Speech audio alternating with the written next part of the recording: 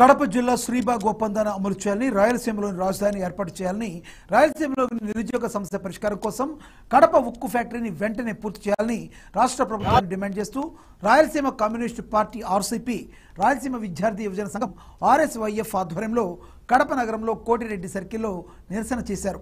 ఈ కార్యక్రమంలో మీడియాతో మాట్లాడుతూ రాయలసీమ విద్యార్థి యువజన సంఘం ఆర్ఎస్వైఎఫ్ రాష్ట్ర కార్యదర్శి శంకర్ శ్రీభాగ ఒప్పందం ప్రత్యేక హోదా పేపర్కే పరిమితమైందని ఆయన ప్రభుత్వాన్ని దుయ్యబట్టారు. ఈ కార్యక్రమానికి యూనియన్ నాయకులు విద్యార్థులు తదితరులు పాల్గొన్నారు.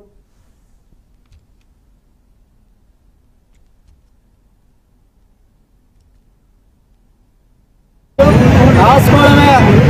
కానీ అది అమలు చేయడంలో ఈ పాలక వర్గాలు కానీ ప్రభుత్వాలు కానీ నాయకులు కానీ ఎలాంటి చిత్తశుద్ధి కానీ లేకపోతే నిజాయితీ కానీ లేనటువంటి పరిస్థితి ఆ ఒప్పందం లేబర్కి మాత్రమే పరిమితమైంది చెప్తే ఆచరణలకి రాకోకుండా కోస్తా నాయకులు కోస్తా కోస్తా పార్టీలు కోస్తాలో ఉన్నటువంటి ప్రముఖులందరూ కూడా ఆ పత్రాన్ని తుంగలకు తొక్కినటువంటి పరిస్థితి ఈ రోజు ఉంది.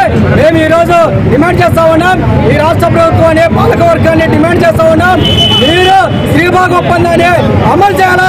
శ్రీభాగ ఒప్పందంలో ఏదైతే ఉందో వాటినన్నింటిని కూడా అమలు చేయాలని చెప్పేసి ఈ సందర్భంగా డిమాండ్ చేస్తున్నాం.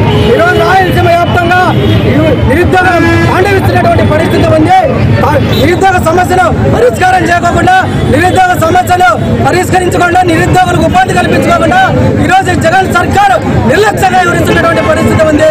ఈ జగన్ పాదయాత్ర వెళ్ళి ఎన్నికల ప్రచారంలో కడప ఉక్కును ఏర్పాటు చేస్తాం. కడప ఉక్కును ఏర్పాటు చేసి రాయలసీమ వ్యాప్తంగా ఉన్నటువంటి నిరుద్యోగులకు ఉపాధి కల్పిస్తామని చెప్పేసి ఆ రోజు హామీ ఇవ్వడం జరిగింది. కానీ ఈరోజు జగన్ అధికారంలోకి వచ్చిన తర్వాత అధికారం చేరలేకపోయిన తర్వాత ఇచ్చిన హామీని ఇచ్చిన మాటని ఈరోజు గాలికి వదిలేసినటువంటి పరిస్థితి. ఇది చాలా దుర్మార్గమైన విషయం.